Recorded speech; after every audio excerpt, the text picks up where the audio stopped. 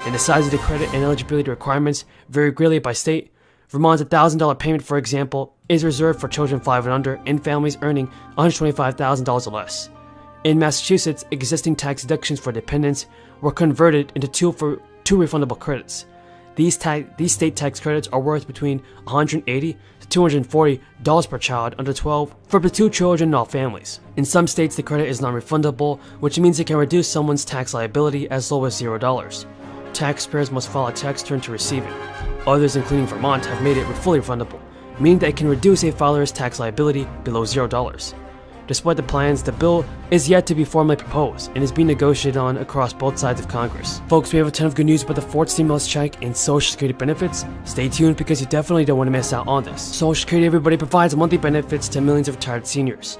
Some of those seniors depend on the program for the bulk of their income, and that's proven to be a problematic thing this year in particular. Although Social Security recipients get a generous 5.9% raise going into 2022, at this point the rate of inflation is far outpacing that boost. That means seniors who live mostly on Social Security are losing buying power even at a time when they're sitting on a higher raise. But that's not the only issue with depending heavily on Social Security. In future, Social Security may have to cut benefits to the tune of 20% due to revenue shortfall. That could leave many seniors in the lurch. In the coming years, Social Security expects to owe more in benefits than it collects in revenue, due largely to an anticipated mass exodus of baby boomers from the workforce. The good news is that Social Security has trust funds it can tap to keep up with scheduled benefits, but once those trust funds run out of money, benefits will be cut back on the table. Meanwhile, the Social Security trustees recently released a 2022 report, and it projects that the program's trust funds will run out of money in 2034. From there, Social Security may have to slash benefit income guidelines. But due to the cost of living adjustment, some Louisiana households may see a decrease in SNAP and other benefits, according to the Louisiana Department of Children and Services. This has so far affected millions of people under the Family Independence Temporary Assistance Program and SNAP program as well. State officials have said that these benefits will decrease in January. The cost of living is already increasing every single day. But now, once again, food inflation is outpacing overall inflation. What this means, though, is that SNAP recipients in the state of New York will once again receive more than a hundred bucks in their monthly benefits. SNAP has been crucial for many people in New York, and households that are currently at or near the maximum benefit level, which is about a thousand bucks for a household of four, will receive SSI payments of at least a hundred dollars. Benefits will post between December 12th and December 39th, 31st, I mean. An estimated $234 million in federal funding will be infused into New York's economy as a result of additional benefits. Since January, the program has contributed more than $2 billion into the state's economy, playing a critical role in the state's economic recovery in the wake of the crisis. According to a recent federal survey, SNAP generates up to $1.54 in economic activity for every dollar invested in the program. Mexico governor says that the latest round of rebates will go out mid June. Thanks to a bill passed by lawmakers during the legislative session, New Mexico people have previously filed taxes and will get another round of rebates. Single tax filers will get $500. Married couples will get more. And taxpayers who use direct deposit when filing their tax returns will get the latest of rebate checks automatically via direct deposit. If you moved here since 2021, you should update your address online via the Taxation and Revenue Department's Taxpayer Access Point. Now, for those everybody in the United States of America, well, the Bureau of Labor Statistics reported that the consumer prices climbed 5% in March, down from 6%.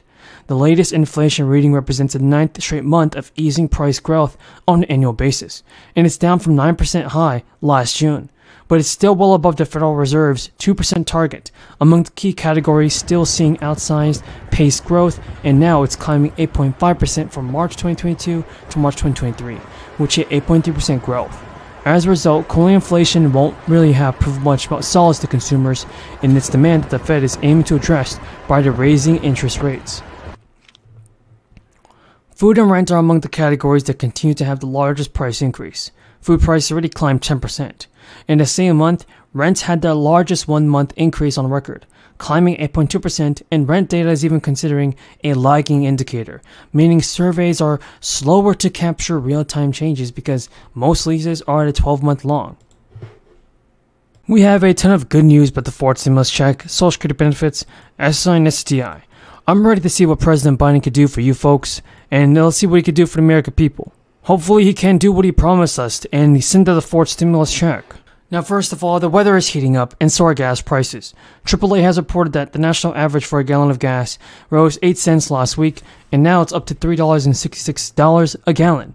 Now, oil prices initially got a boost early in April, which and now surprisingly announced that it would cut production starting in May by about a million dollars per day. This is news from the Organization of the Petroleum Exporting Countries. This past Thursday, and the maximum benefit of the credit was increased from 2 grand to 3 grand in 2021. That's for people 6 to 17 years old. And half of the credit was given in advance. Plus in monthly payments to the families to help others throughout the year, and the other half was given as part of a household's tax refund. The household with pretty much uh, no or low income was able to receive it for the first time. And though it can take years for the policy to have the tangible effects, the impact of the credit was uh, pretty much very noticeable very fast. And so I believe it's pretty much right for Joe Biden to send out another one. Don't you guys agree? Parents reported using the advance payments for household essentials like groceries, clothing, schools, and utilities. And despite worries from conservatives, researchers found no evidence that the policy discouraged people from going back to work. Instead, it probably motivated people to get back to work. The Center on Budget and Policy Priorities, everybody, said the success of the 2021 expansion showed us that child poverty rates are a policy choice, not inevitable. And Congress failed to renew the expansion in 2021, reverting the credit back to its former, less generous iteration. It's one of the reasons that families could see smaller tax refunds this year when they file their returns, because some tax credits have already implemented their own version of a child tax credit last year to make up for the difference. Still, without this expansion, everybody, Millions of people fell back into poverty at the beginning of last year. It made many people broke and it hurt so many uh, households. But folks, here's a solution to this. One of the big Folks, there is a new fourth stimulus check, and thousands of Americans are set to receive checks worth as much as $2,500 very soon. Many of you are wondering whether your state will send you one. Well, I'll be sharing all this important information for the fourth stimulus payment in today's video. So continue watching. We got a ton of news about this. Since the IRS distributed the final batch of these economic impact payments to eligible individuals, the concept of a fourth federal stimulus payment has been under consideration.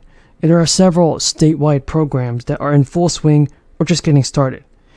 The Alaska Permanent Fund dividend pays Alaska residents a portion of state minerals revenue in the form of an annual dividend to benefit current and future generations. Although the deadline is March 31st of the year for which you're applying, there are some exceptions. According to officials, Applicants who filed an application online and have been determined eligible will receive a September 22 stimulus payment. That's until the end of October at least. In the Washington, everybody, the Washington Working Families Tax Credit aims to offer financial support to residents for the state range from 50 to 100 bucks. Now, these payments